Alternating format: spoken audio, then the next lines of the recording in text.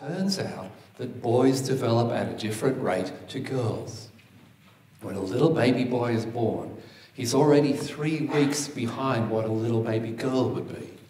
You have to work that little bit harder with a baby boy to kind of switch him on, get him to kind of light up and come on the outside. And so it's three, th- three weeks is a big difference when, you, when you're born. But they don't catch up neurologically with girls till they are 19. It's quite a while, isn't it, to catch up? Some of you are still waiting for them to catch up. And it's, and it's, not, it's, not even a, it's not even a straight line either. It's not like there's the girls and there's the boys. It varies. And so at the age of five, which is when we start school in this country, not many countries start that early.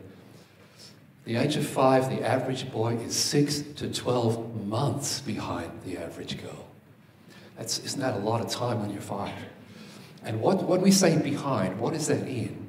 It's in two things fine motor skills, holding stuff with your hands, doing neat stuff, and talking, language.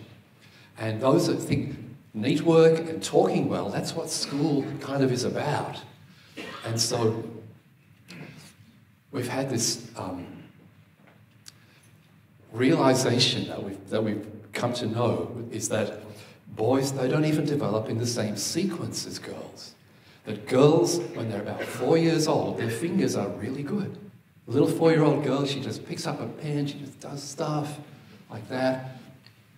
Girls develop fine motor skills first. You've got to get girls out on trampolines, throwing medicine balls, build up some core strength, but no trouble with that stuff. Boys develop trunk first, then limbs. They're wiring up the, the muscles to the brain outwards trunk, limbs, and then finally, when they're done, digits, fingers, and toes last. And so the average little boy, five or six years of age, he's sitting in a classroom and he knows good boy is a still boy. And he tries. he tries. But his, his body, his body knows what it needs.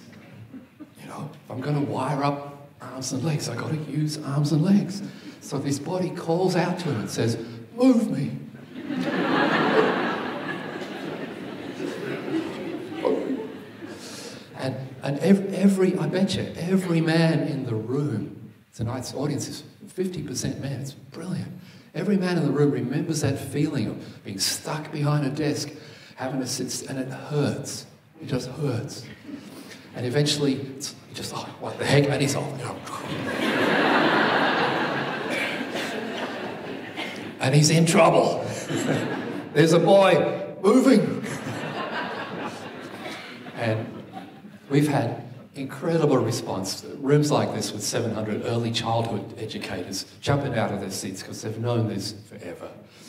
We should not start school by the calendar. The calendar is a terrible guide to school readiness because all, all kids are different. Everyone should get to go to kindy, it should be three mornings a week is enough. That's actually the optimum. More than that just wears them out. Everyone should have that. And then when in kindy, you have a talk with the kindy teacher and say, what do you think? Is he sitting down and, you know, doing some, does he ever sit still for 10 minutes and do stuff? Can you put some sentences together and, and make that the basis of whether to start formal schooling or not? And I think in the school of the future, the average boy will be a year older than the girl he sits beside and developmentally they'll be on a par, and boys will like school.